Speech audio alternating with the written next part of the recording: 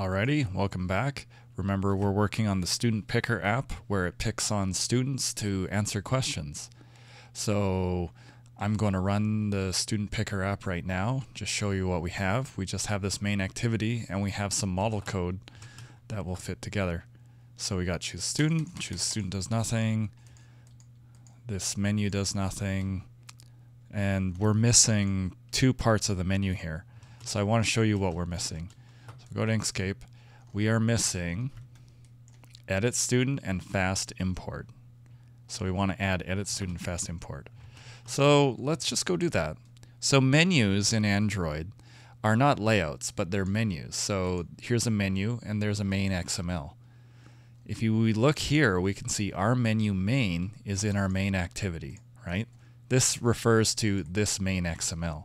If we look at the main XML, it's uh, it's a menu, it's main XML, has one item. So let's add an item to it. So I'm going to go add, and I'm going to go item. So we're creating a top level item, and let's call it uh, edit students. Oops. So we're going to add an item, and we're going to call it edit students item. Choose a good name, something you can remember, and its title that we're going to see is going to be edit students. All right. So we got edit students and that. So let's run our app again.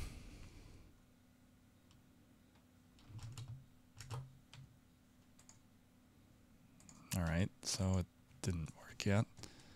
So we save. Let's run our app again.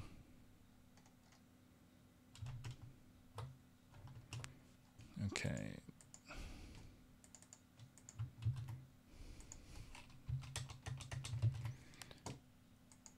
Let's see, run student picker. So it's launching it. It's installing it. Now we can see edit students. It does nothing either. But I want to show you something really neat about the um, about the menu items. Watch this. So I can go public void edit students and then if it takes a menu item we can actually call it from that XML. That XML can hook up and call this item. So what's it complaining about? Import the menu item, please. So it adds it there. Um, I'll show you a neat way of debugging. So we go debug, uh, make text. So let's just see what it has to say. Yeah, this. Okay, our context will be this because we're an activity. The text we're going to write will be, um, hmm, what text are we going to write? Um, we'll just say edit students. And our duration, um, we have to choose either long or short. I'll choose short. And then we have to show it. So this one little line allows us to show some text. So I'll save. Got edit students. Now let's go back to the main thing. You see here? These are attributes, right? But you see this on click attribute? Let's read the help. Name of a method on context used to inflate the menu that will be called when the item is clicked. Okay, not the best description. This is the method that will be called if you click that menu item. Okay? So what did we call that menu item? Uh, I don't remember. Edit students? Okay. Let's go to main. We'll call it edit students. Okay. I save. Go back to main, save that. Let's run the student picker again. Okay, so we wait. Student picker,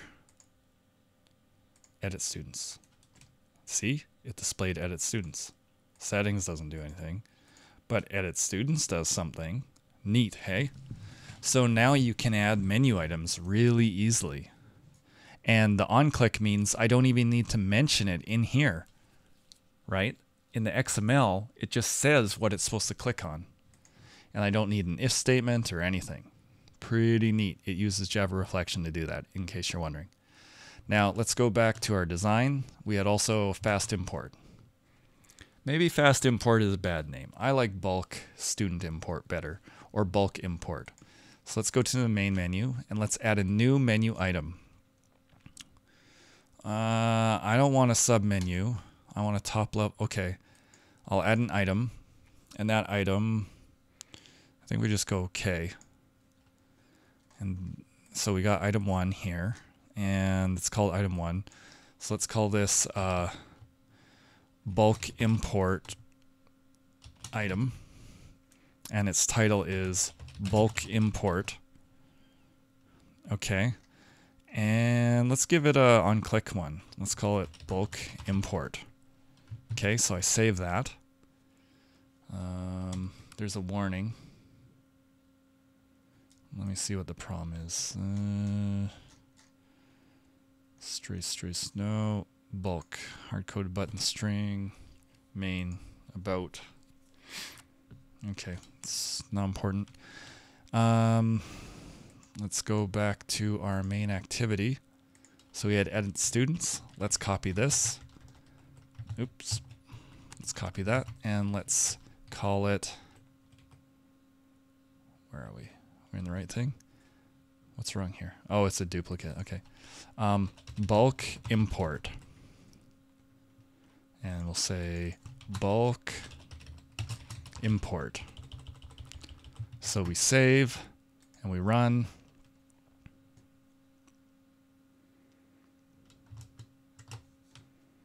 It pops up. Edit students, edit students, bulk import, bulk import. See the bulk import again. Okay, so now we've got two items. Fortunately, we've switched sides. Like, I'll accept that this menu button is actually up here. That's fine for now.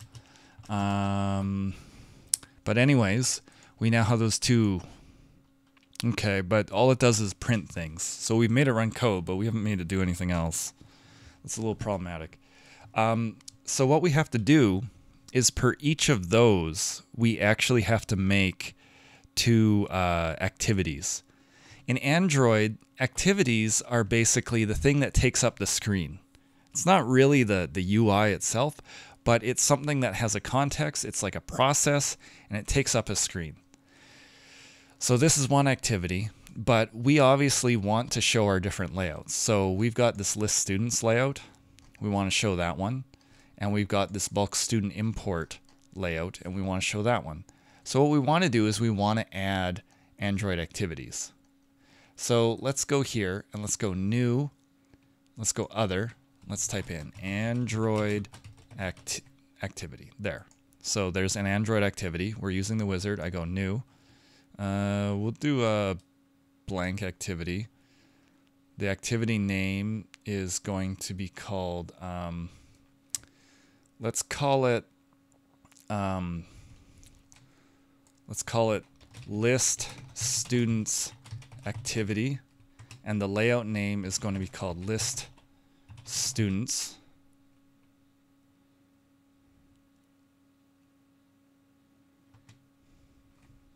Why is it caring about that? I know. Okay, well, um, fine. Let's uh, let's just uh, list students. So we'll just add that. Its title will be uh, list students, and it doesn't have a hierarchical parent. It could have that, it could have that, it could have that. We'll just have none for now. Okay, and we don't want it as a launcher activity. So we don't want it showing up in the launcher. The launcher, whenever they refer to launcher, the launcher is this. That's the launcher. So if you want your app to show up in the launcher, you say it's a launcher activity. Okay, so we go next. And um,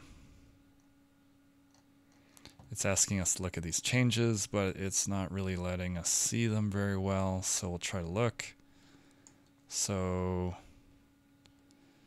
list students activity. Okay, so it's adding that XML.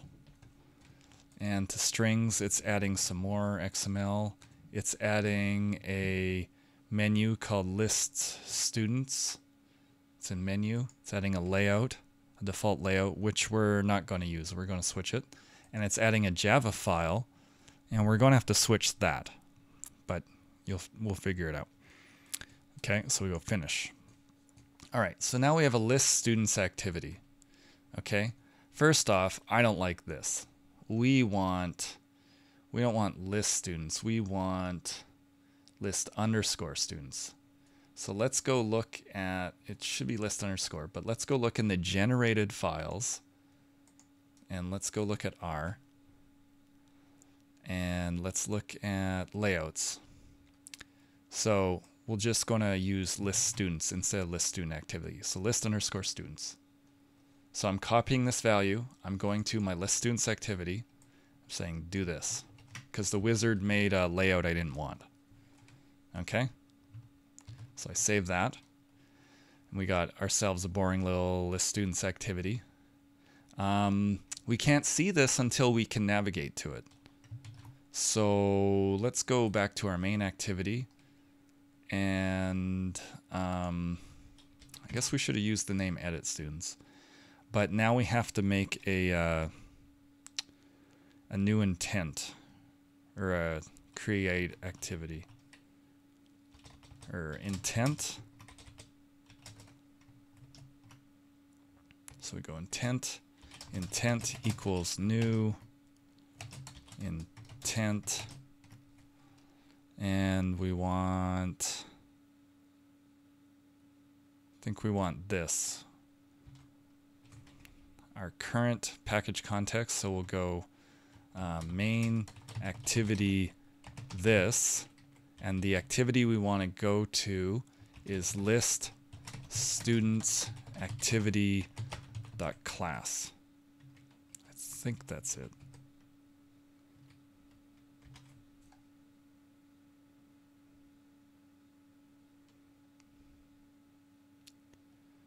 Um, local value of intent is not used. That's not valuable. So we want to go, um, what was it? Intent.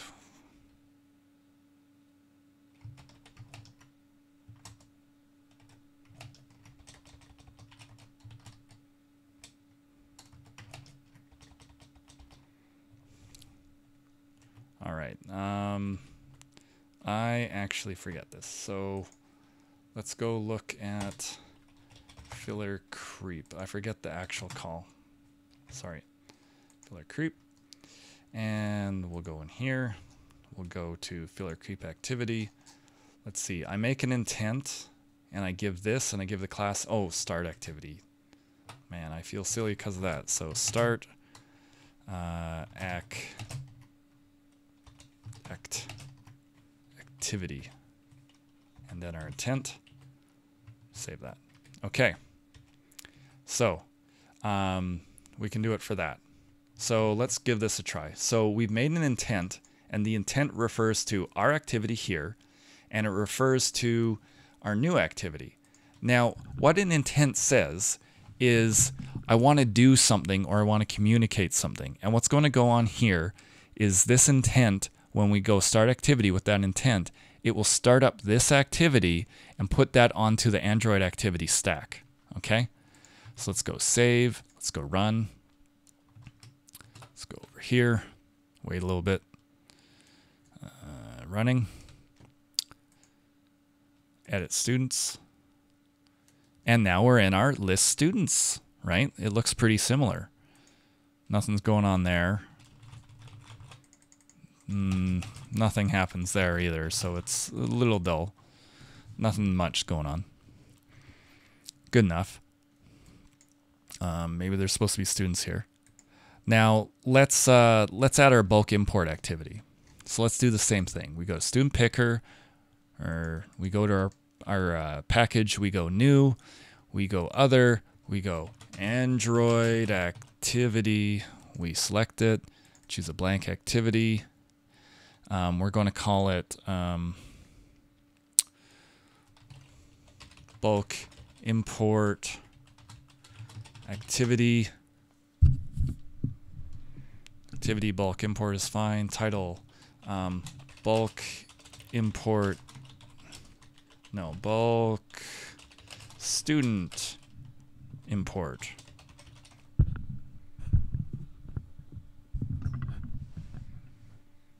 Okay, so we got bulk student import. That looks fine. Uh, let's take a look at this stuff. So to the Android manifest XML, it adds a new activity, gives the name. To the strings, it adds a new string for that string, and it adds a menu for the bulk import.